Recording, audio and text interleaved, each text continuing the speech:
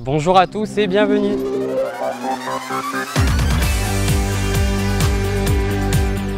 Mon défi du jour, vous présenter IRP. Trois lettres pour désigner un concept de fabrication unique sur le marché. Top chrono, c'est parti Nous avons développé notre concept ici, à Tournon-sur-Rhône, en Ardèche, où nous sommes caravaniers depuis plusieurs décennies. Notre concept, c'est I pour isolation, R pour résistance et P pour protection. Parlons maintenant de la qualité de l'isolation. Suivez-moi.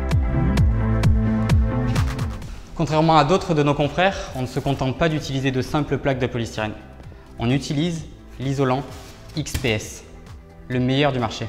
C'est une mousse hydrophobe, donc beaucoup plus étanche, extra ferme, donc beaucoup plus résistante. C'est un excellent isolant thermique qui vous protégera du froid mais également du chaud et phonique qui vous protégera du bruit. Ça vous permettra donc d'utiliser votre caravane été comme hiver. On utilise cette mousse dans nos parois, nos toits et nos planchers. Une bonne isolation, c'est bien, mais une meilleure épaisseur, c'est mieux. C'est pourquoi on utilise 41 mm pour nos planchers et 30 mm pour nos toits et nos parois. Ça nous place parmi les meilleurs du marché. Parlons maintenant de la résistance. Dans la fabrication d'une caravane, on utilise différents tasseaux, que ce soit pour le toit, le plancher ou les parois.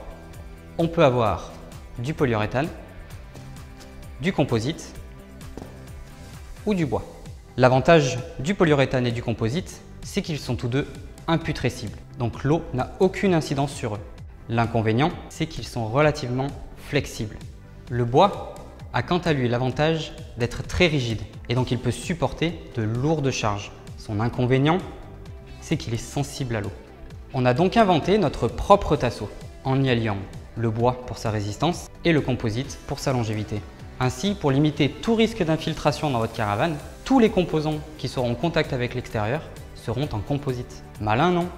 Au niveau de notre IRP, nous en sommes donc au P. P pour protection. Et la protection, c'est le polyester.